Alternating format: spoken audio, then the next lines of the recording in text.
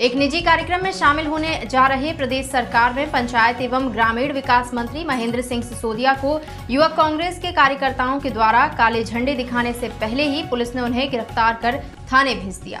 मामला देहात थाने के कर्माबाई चौराहे का बताया जा रहा है, जब प्रदेश सरकार में पंचायत एवं ग्रामीण विकास मंत्री महेंद्र सिंह सिसोदिया एक निजी कार्यक्रम में शिरकत करने आए थे जहाँ उन्हें युवक कांग्रेस कार्यकर्ताओं के विरोध का सामना करने की स्थिति निर्मित हो गई। विरोध प्रदर्शन की जानकारी पुलिस को लगते ही कोतवाली एवं देहात थाने की पुलिस प्रदर्शनकारियों को गिरफ़्तार कर थाने ले गई। हालाँकि जब तक मंत्री की रवानगी नहीं हो गई, तब तक पुलिस परेशान रही। युवक कांग्रेस के कार्यकर्ताओं ने पुलिस थाने में भी नारेबाजी की। कार्यकर्ताओं ने मंत्री पर बीजेपी से पैसे लेकर पार्टी बदलने का आरोप लगाया। उन्होंने सीधे सीधे आरोप लगाया कि ज्योतिरादित्य सिंधिया के साथ मिलकर 35 करोड़ रुपए लेकर कांग्रेस से बीजेपी में शामिल होकर जनता की भावनाओं से खिलवाड़ किया है।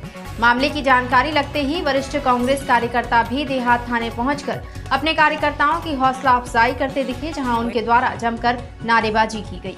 फ़िलहाल के लिए इतना ही। खबरों का सिलसिला लगातार जारी है। आप बने रहें दैनिक दिल्ली न्यूज़ के साथ। नमस्कार।